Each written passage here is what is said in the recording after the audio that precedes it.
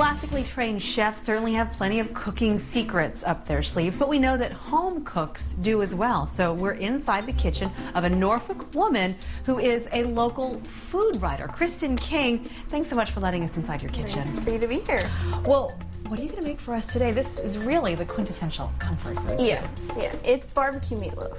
It's a great summertime food. It's a great fall, wintertime food. So it's just great all around. You've got some really interesting ingredients that I wouldn't normally associate with a meatloaf. Yes. Um, what we're going to do is we're going to take all of these vegetables and we're going to crush them up in the food processor so they're very fine.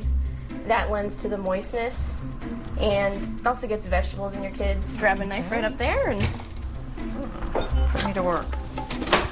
in the food processor we're putting one green pepper, three small carrots, three small pieces of celery, um, three garlic cloves, and a half an onion. That's it. And we want it to be pretty fine. So, about like that. I have a pan heated here over medium heat, and I'm just gonna use some vegetable oil. And we're just gonna let this saute until the vegetables are soft. Because I find that when you put the raw vegetables in, they get kind of gummy and they don't really cook all the way through. Obviously, you're not gonna put this into cold meat, so you need to let it cool off a little bit before you put it in. Kristen, I know you're big into making your own sauces. Is this a homemade one? It is. This you can use store bought barbecue sauces if you want, but it's so easy to make your own. I just use ketchup, molasses, brown sugar, maybe a little bit of maple syrup, and garlic powder, onion powder, salt, pepper. Pretty much it. You can throw in some Jack Daniels if you want it a little spicy. But uh, so we have a cup of barbecue sauce here, and we're gonna add more flavor to this. This is a quarter cup of Worcestershire and a quarter teaspoon of liquid smoke. What they do is they make a fire and they box it in, and the condensation from the fire creates a liquid smoke. Half of this is going to go in the meatloaf, and half of it is going to go on top as the topping that gets all nice and crusty and good. We have one pound ground pork, one pound ground chuck. So it's one egg as the binder.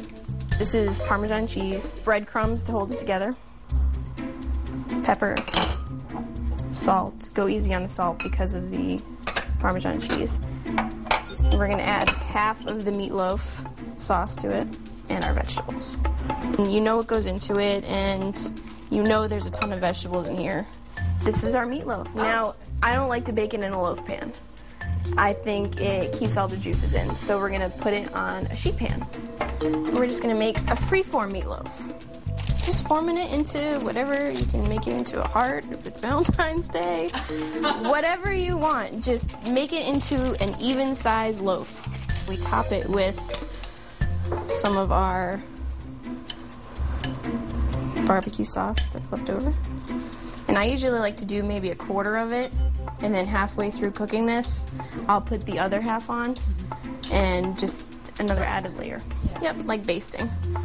All right, so this goes in the oven Yep. for 375, 400 degrees for about 50 minutes, or until it reaches an internal temperature of 155.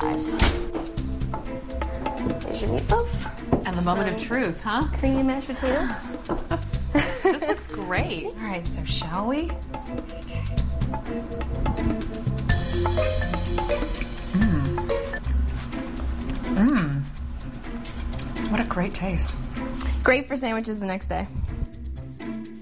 Um, I wouldn't have any leftovers. See that? How big that plate was? Yeah. I cleared it. That was a big meatloaf. I can see why it couldn't fit Well, into a uh, loaf. no, I know that. I know that. I know that. Um, and glad good. she, uh, you, can't, you just can't do it without mashed potatoes. Oh, my I know goodness, that's no. not the best for you, but you can't do it without mashed potatoes. It was so good. Well, as I mentioned, Kristen is a local food writer. She has plenty of other recipes on her blog, which we're going to link to our website at fox43tv.com. Also online at fox43tv.com, you're going to find the step-by-step recipe for the meatloaf plus the one for her great mashed potatoes. Going to Oh, want to check that out. Okay, good. It's really, really, really, really I never good. thought to put that many uh, add vegetables in. Yeah. I good wouldn't tip. have thought that. All righty.